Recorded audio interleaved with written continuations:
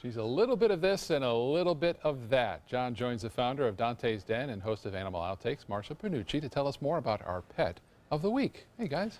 Oh, you can tell this one's a sweet one. Yes. This is a sweet one. Oh, yes. Tell us about a little bit. Well, Little Bit is a seven and a half year old young uh, apricot poodle. And you remember apricots were very rare at one point, and everybody wanted to have one.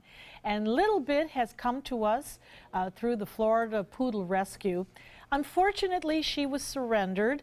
Uh, her owner uh, had met with some terrible medical problems and could no longer take care of her. And so Little Bit became part of the Florida Poodle Rescue. As she loves people. Can you see it? I can see it. Absolutely can see it. She is, she's been trained as a lap dog, I can tell. Absolutely, absolutely. But I'll tell you one thing. She wants to be the diva of the family. And who doesn't? Yeah. Really? I mean, honestly. You're kind of outnumbered in your family, yeah, aren't you? we have a few. Yeah, but uh, Oh, but she poodles, I can testify, are really smart, wonderful dogs to have in the yes, house. yes. She uh, obviously loves her ear scratched Oh, because does, you're doing yeah. a great job Yeah, on she that. does. Uh, but she would prefer to be the only dog in the family. Uh, but as far as children go and adults go, and a nice big backyard to run around with, she would be perfect.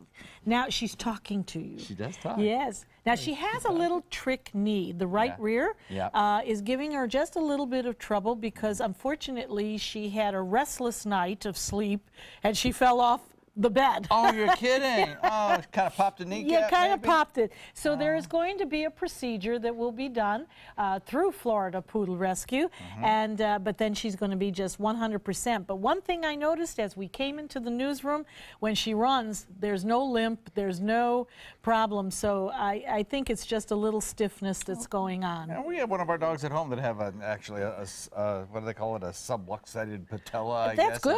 good. Yeah, and you know they you know, every once in a while a shot of steroids and they're feeling good. And, you know I'm down with that myself actually.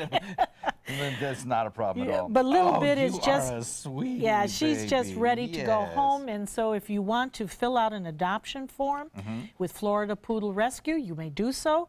Uh, they do a wonderful uh, interview and a home check, and you can call them at 727 265 1766, and she's ready to Oh, go. great addition to any family. Marcia, thanks so much for bringing her in today. Thank This is a you. real joy.